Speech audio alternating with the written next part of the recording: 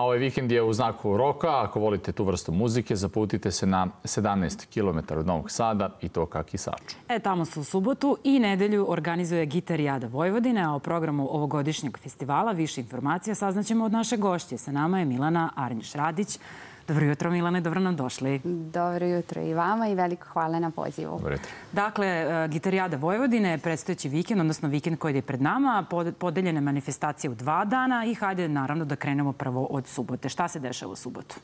U subotu e, ćemo organizovati jedan program u Kulturnom centru u Kisaču gde e, ćemo napraviti jednu malu retrospektivu pola veka rock muzike u Kisaču. Ja moram da kažem da se rock muzika neguje mnogo duže i od toga, ali ovo je nešto što pričamo o jednom formalnom periodu, s obzirom da je prva gitarijada održana 74. i 75. godine. To je onda tačno 50 godina. Tako da. je. Tako da smo hteli da iskoristimo taj moment i da se osvrnemo kako je izgledala muzička scena u Kisaču, ali i u staroj Jugoslaviji u to vreme, s obzirom da je to malo drugačiji zvuk koji je sada. E, tako da ćemo imati priliku da u okviru programa i čujemo e, grupu Trag, tačnije njihove članove, e, i iz ostalih bendova. Oni su se jednostavno okupili, oformili jedan sastav i pokazat će nam kako su oni tada u to vreme svirali što će biti naravno ekskluziva. Pored toga biće prikazan i jedan dokumentarni film koji smo napravili, čisto da obuhvatimo to neko razdoblje gde će se osvrnuti na same početke kako je bila organizovana ta prva gitarijada, zatim kako mi to vidimo kada smo počinjali 2015. sa obnovljenom gitarijadom i evo sada gde smo posle 10 godina, da kažem, u kontinuitetu održavanja ovog festivala. Tako da je to faktički, kao što sam napomenula, ta jedna retrospektiva perioda gde, gde je Kisač zaista jedno mesto gde se na poseban način neguje rock muzika, rock kultura i mi smo zaista ponosni po tome što se izdvajamo od svih ostalih mesta po tome zato što je Kisač uvek imao kultna mesta gde, su se, se slušala za razliku pored tradicionalne i rock muzika i to se trudimo zaista da promovišemo i po tome mislim da smo sada već poznati s obzirom da se trudimo da i sam naš festival je evo, ucrtan i u turističku mapu grada Novog Sada i turističku mapu Vojvodine, a tako i Srbije, upravo po tome kao jedno malo rock mesto.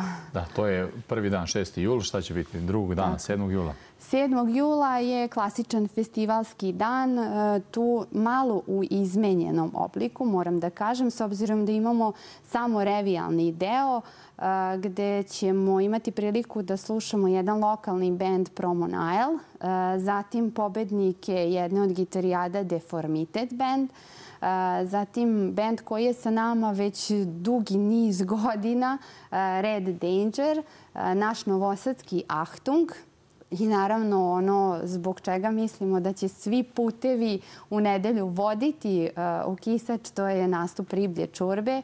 Sa njima smo eto, krenuli obnovljeni festival 2015. godine, doživeli veliki uspeh i ja verujem da će i sada biti razlog da dođe u kisač ljudi i veliki broj publike. E, kada smo već, Milana, kod te publike, e, kada pogledate lica u publici, ko su ljudi koji dolaze već godinama na gitarijadu? Da li su to mladi, da li su to ovi stariji koji vole rock muziku? Kakva je ta starostna struktura?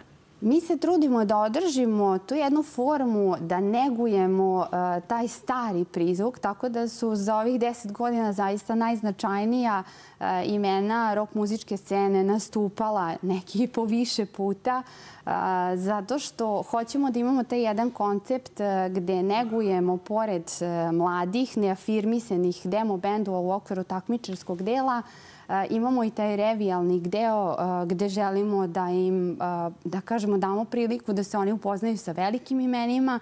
Tako da, što se tiče publike, ona je zaista izmešana i na, vel, na naše zadovoljstvo to je zaista i veliki broj mladih, tako da ja verujem da oni dolaze da podrže i svoje prijatelje koji nastupaju u okviru takmičarskog dela jer naravno od naredne godine planiramo da nastavimo sa tradicijom i ovom prilikom želim da se zahvalim vama kao medijskoj kući koji ste od nas tu od, sa nama od prve gitarijade koji ste nam zna, dali bezrezervnu podršku i uvek bili tu za demo bendove što se tiče snimanja u ranije studiju M, sada u novom studiju, tako da uh, to je zaista bila velika pomoć i velika podrška na početku. Evo koristim priliku da se zahvalim.